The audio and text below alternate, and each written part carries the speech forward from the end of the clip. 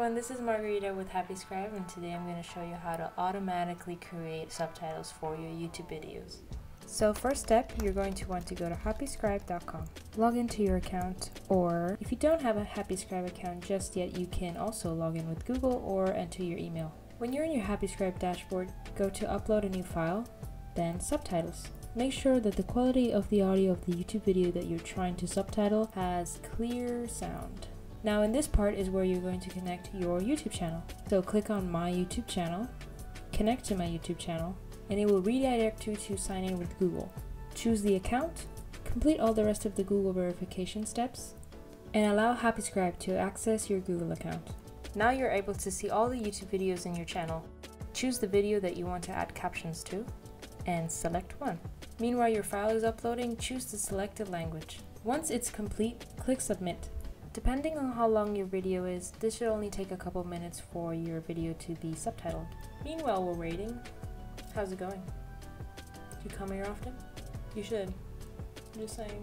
Once the status of your file is done, click on open. Now here is my subtitled video.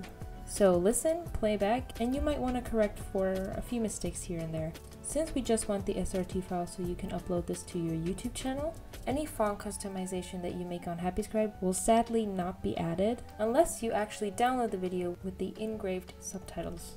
Once you're done proofreading, click on download and you're going to want to download the subtitle file so you can later upload them on your actual YouTube video as closed captions.